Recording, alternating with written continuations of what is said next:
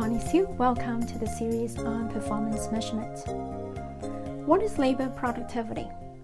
It could mean the number of units produced per employee in a manufacturing business, or it could mean the proportion of billable hours in an engineering firm. Labor is a significant component of cost in many businesses, so it will be useful to monitor its effectiveness. To make labor productivity a useful performance indicator, there are four steps. First, determine the functional area which you want to assess labor productivity.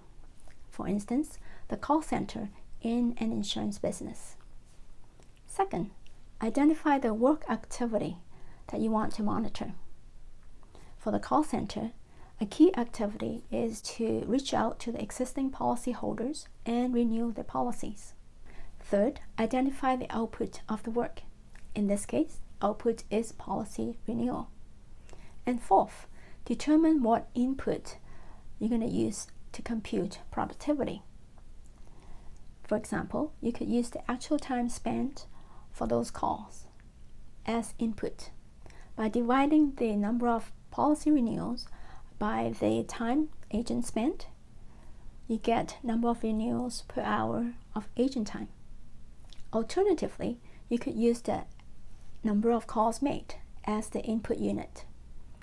By dividing the number of policy renewals by the number of calls made, you get the close rate of the renewal calls. Note that the first calculation uses the actual time spent as the input unit, and the second calculation uses the number of calls made.